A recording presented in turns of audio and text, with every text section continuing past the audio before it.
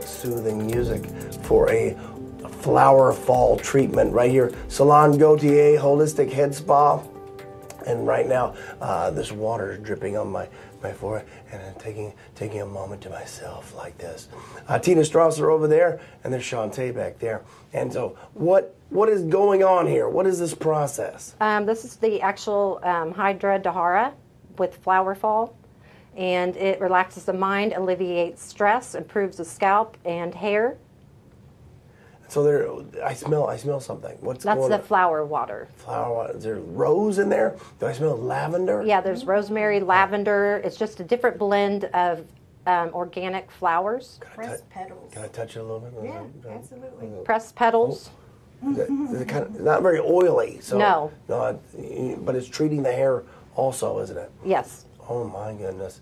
And of course, the new year, start out fresh, you know, clear the mind. Uh, a head spa might be in your future.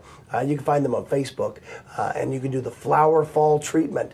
Candace Sterling. Uh, normally, of course, the lights would be down low. I would not be talking, and I would just accept, accept. And I'm telling them all my secrets. I'm telling them all my secrets.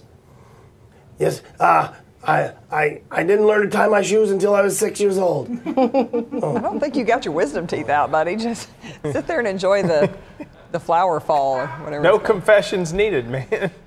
know where that came from.